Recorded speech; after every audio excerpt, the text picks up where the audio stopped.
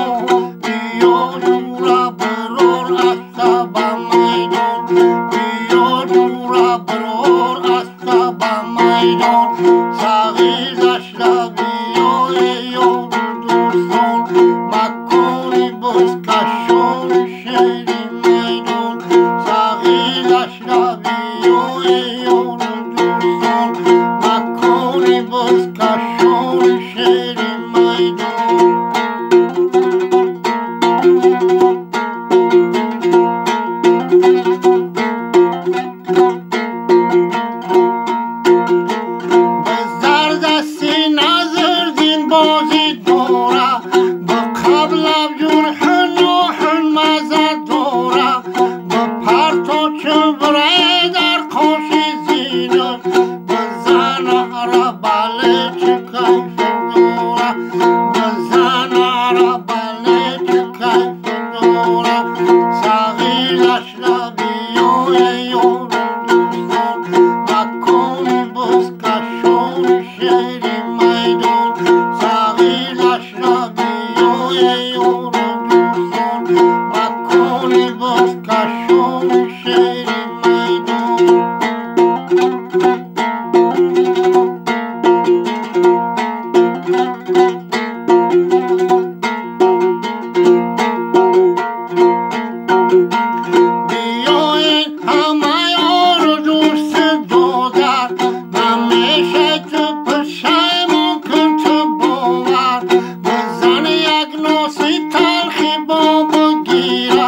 پرتویون با شراحت کن برادر پرتویون با